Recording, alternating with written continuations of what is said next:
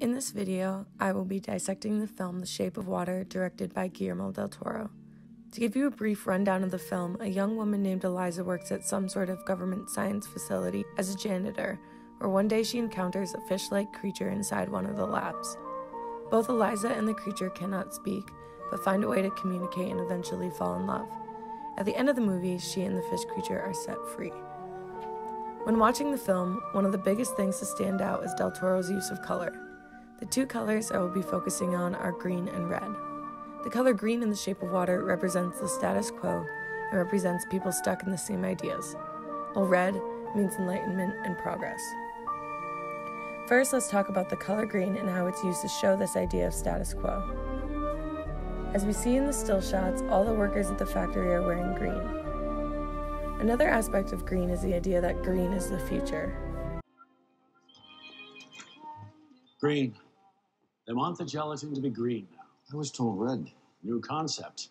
That's the future now. Green.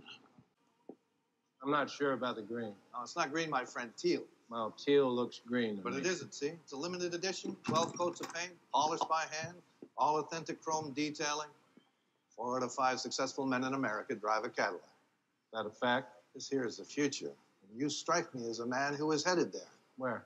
Why the future? You're the man of the future. You belong in this car.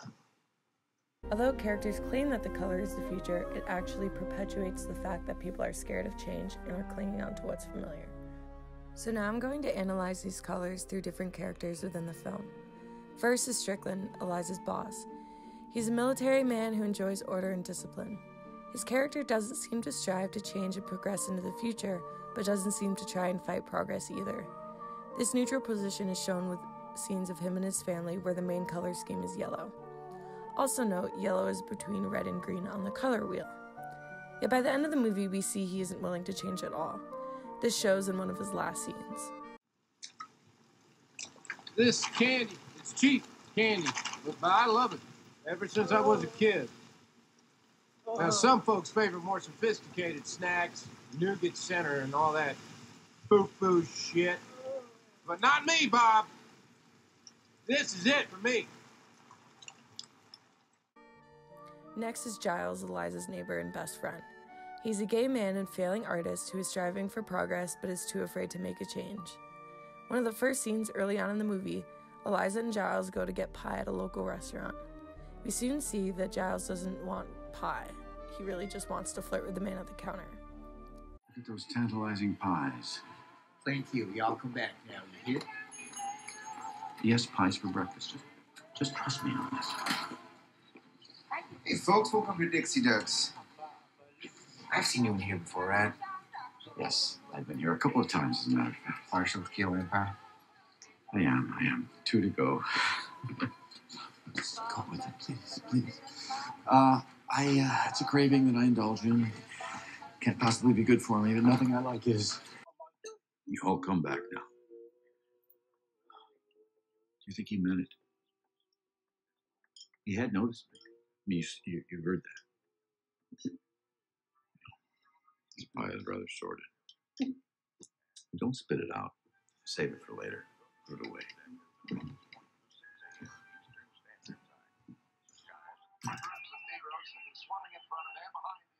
Oh, dear God, change that off of me. I do not want to see that. Notice in the scene he tells Elisa to turn off the TV because it's showing civil rights riots. This shows his fear towards progress. Later, we see him back at the pie shop. You know, I work alone. And, um, my best friend's not much of a conversationalist. You see, that's part of being the job here. It's like being a bartender. You serve people pie, you listen to the problems, you get to know them. I'd like to get to know you better. What the hell are you doing, old man? Oh, oh, oh. What's interesting about the scene is that the man at the counter gives him a red pie instead of key lime. With red as a symbol of progress, Giles tries to make a move on the pie shop employee and is brutally rejected. Giles tried to progress and to become more open with who he is when eating the red pie, but ultimately failed due to the quote unquote green status quo. Another reason why he fears progress is because of his age. In a scene later in the film, while he's talking to the fish like creature, he says,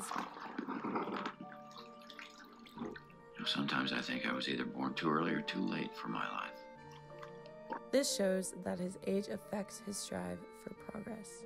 Lastly is Elisa, who is mute and is the protagonist of the film. As mentioned earlier, during her janitorial duties in the lab, she builds a connection with the fish like creature and they eventually fall in love. Early on in the movie, Elisa is dressed in green for work, and we see her stop at a shop to look at a red pair of shoes.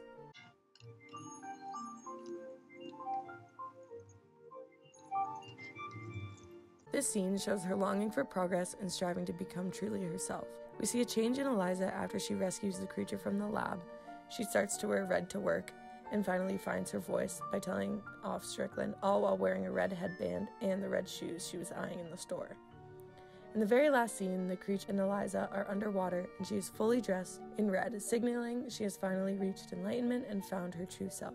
Overall, Guillermo del Toro's use of color between green and red highlight the changes in characters throughout the film.